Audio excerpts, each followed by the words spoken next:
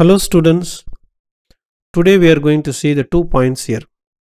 So if you are going to show like this, then the meaning of 1 comma 3 comma 4 is that okay that means starting from the origin I have reached the destination point P by this method. That means 1 along the x direction, 3 along the y direction and 4 units along the z direction. If I move like this, I will be reaching a point P which is represented by 1 comma 3 comma 4. So similar to this Cartesian system, how do you draw or how do you plot a point in the cylindrical polar system? So now how do you represent this particular point in the spherical, uh, sorry, in the case of the cylindrical system? So for that what you do is, first of all you have to draw the a cylinder. Let me draw and show it to you now. 1, then that will be a 2 and this point will be 3. Okay, that's fine. So first of all you have to understand what do you mean by that 3 here you are starting from or you are standing on the origin and then you are walking along the x-axis until you reach the point 3 and then you are now standing on the point 3 and once you are now on the point 3 you have to make an angle of 60 degree. So that means you are going to uh, come along the curved path here only then your angle will change. So this particular thing in this direction you keep on walking until you subtend an angle you subtend an angle of 60 degree from the origin. So that is showing to be 60 degrees. That is the meaning. So you are going to walk in this direction until you reach a 60 degree point. How do you know it's a 60 degree point? Means every time you stand on the arrow that is this particular arrow you have to draw a line to the origin and measure. If it is not 60 degree you walk further. And then once you reach a particular place where 60 comes and that's the place where you have to stop so now I have drawn a vertical line up to this particular point. So which is the z equal to 5 point? This is the z equal to 5 point. This green color cursor is uh, I am showing now that is the z equal to 5. So if there is a cylindrical surface is also shown it would be nice. Uh, this yellow color circular uh, path is lying at the height of z equal to 5 and it is uh, touching our point here. Yellow color straight line from here along this direction if you travel and then come here that distance will correspond to 3 so this one i am putting a tick here. Now we will see what will happen to the case of the vector. How do you draw a vector? So you have to put a arrow like this. This is the direction. If you are going to draw like this that would be some vector. Whether whatever symbol you use that's not important. Let us say that this is your a vector. So we will see now how to make a conversion of the a vector from the cylindrical to the Cartesian or vice versa. So this is the example 2.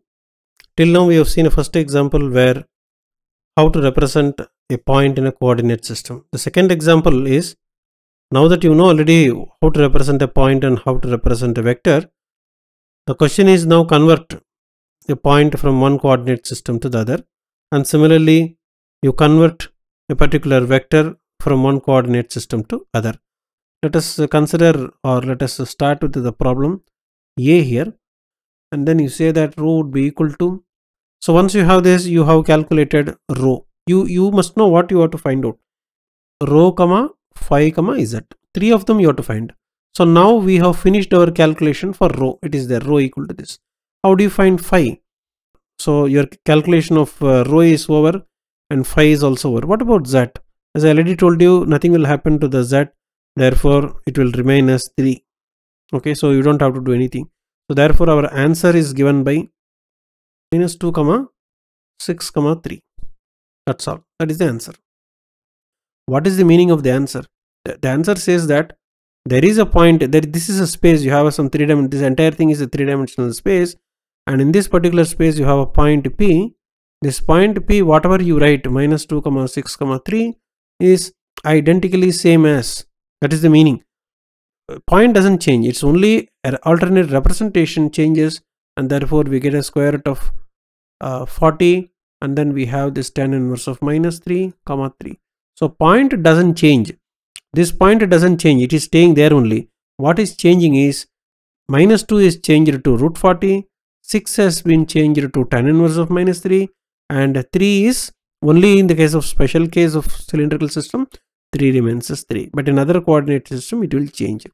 So this is what is known as components are getting transformed. So this is the okay. So components will get transformed like this whereas the point itself will be invariant. So this point will not change therefore that will be invariant. Now we'll go to the second part. The second part is the conversion of the vector. So let us write down what is the vector that we are interested in so our vector is a vector. Let me write down that this is the a vector. This is given to you okay? And we can evaluate always at the point p. So that is an additional job. Uh, if you if you go back to the question and then see you have to evaluate this vector at a particular point okay? So that we will do later. First of all let us uh, see how to convert. The solution is quite simple and uh, you have to search which equation you have to uh, use for this. And uh, from the previous class work we can always uh, choose this. You have the matrix transformation equation and then you get a 0 0 1 once you know that this is the transformation then so i will show you by erasing this. So these are the ax ay az so remove the ax ay az like this and then put the ax which is given. So what is the ax component? It is y times so this is y times.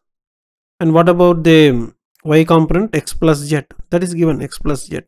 Do you have anything with the z component? No nothing is there.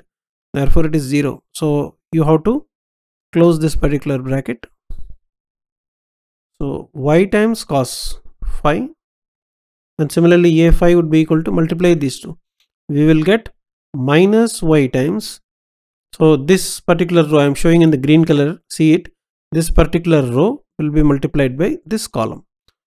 And then the last one is the AZ and if you see that's all. This is the answer. Okay. But however okay however if you want to perform one more step namely the evaluation at the point then you have to do an additional work. So now let us evaluate this vector at the point. So what point you have already it is already shown here. So let me go back and see. At the point here it is there here it is there. Minus 263 at the point minus 263 what is the meaning of evaluating this vector at uh, you, you may get a doubt why we are doing. So let me show here. Go back here so what is the question? Let us see. Here it is there. This is your question. So you have to again get back to the question and understand. At the point p is given in the original question that is what we are doing. Evaluate it at the point p.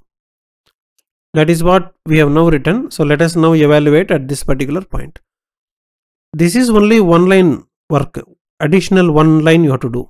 What all you have to do is substitute x equal to minus 2 substitute y equal to 6 substitute z equal to 3 in the previous expression. That is the meaning of this evaluation